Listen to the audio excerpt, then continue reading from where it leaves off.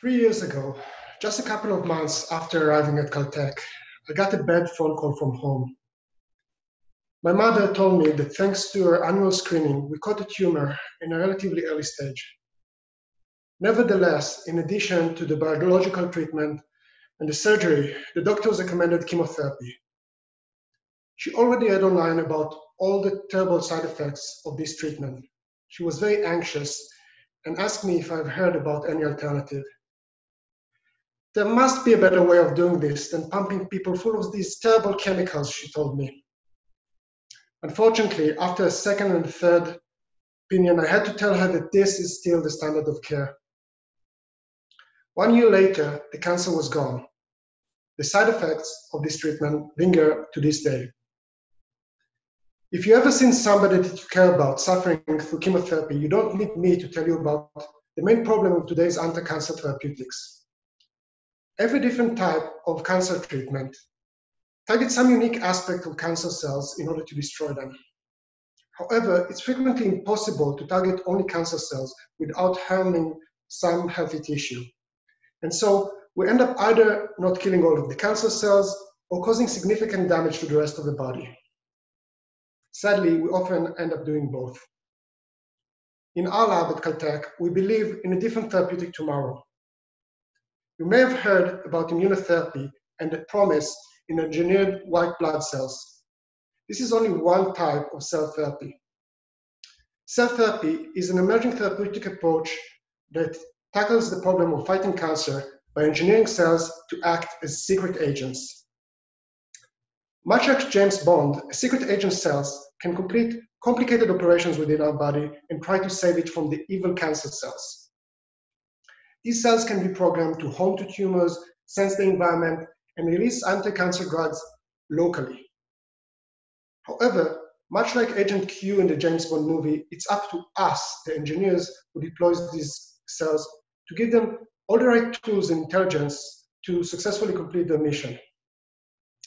Let me take you with us to the labs of the Q division. Here you can see synthetic biologists working hand in hand with physicists in order to develop complicated gadgets for our agents. As you can imagine, planning and commanding such a complex top secret operation is not easy. You see, much like James Bond, a secret agent cell can sometimes get distracted. For example, some small portions of our therapeutic cells can lose their way and end up in the liver instead of the tumor because of some attractive biomolecular signal that they encounter. However, none of us wants to risk hurting any innocent bystanders, especially when they are our own healthy liver cells. Moreover, we need all the agents on our team to work together in harmony in order to complete the task of fighting cancer stand a chance of beating this terrible mastermind. To do it successfully, we need a way of communicating with our troops and controlling their actions. In order to help us communicate effectively with our microscopic agents, our lab at Caltech is developing non-invasive technologies for controlling therapeutic cells activity within the body. It's not easy to reach our agents when they're hidden among a multitude of cancer cells, but luckily we have nature on our side. Our approach is based on gas-filled protein nanostructures called gas vesicles. In nature, gas vesicles are used by many photosynthetic bacteria to regulate their flotation within water. When there's not enough sunlight, they can use the gas in order to float upward. When the sunlight is too strong, they can deflate it and dive deeper. It just so happens that the gas inside these vesicles make them excellent ultrasound contrast agents. By taking the genes responsible for producing gas vesicles and implanting them in our therapeutic agents, we can make them visible to ultrasound. So when we transmit an ultrasound wave deep into the tissue, the air inside these vesicles function as a peering device, reflecting the wave back to us with a response. We're here and we're ready. At this point, we know that we, we successfully established a network of sleeper cells within a tumor. These cells can sense the environment and tell us things about the tumor microenvironment. However, frequently, gathering information is not enough, and we need to take action. So, in my postdoctoral project, my colleagues and I have developed a way of using focused ultrasound to selectively activate these cells and give them real firepower. We give them the power to explode cancer cells. You see, we discovered that gas vesicles are even more useful gadgets. Under the right condition, the same air-filled gas vesicles can be collapsed in response to strong ultrasound pulses. Then the air bubble that is released will oscillate with the ultrasound wave. With each transmitted pulse, each bubble grows and grows until it reaches a critical size and implodes into itself.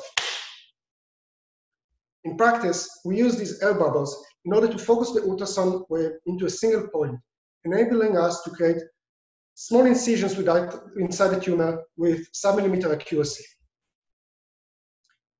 In our next project, our agents will face an even more difficult problem. You see, the main problem in treating large solid tumors is the impenetrable cores. These tumors are like fortified bunkers. Our latest experiment showed that our cells can sneak into these bunkers and report back to us using the standard issue gas vesicles as communicators.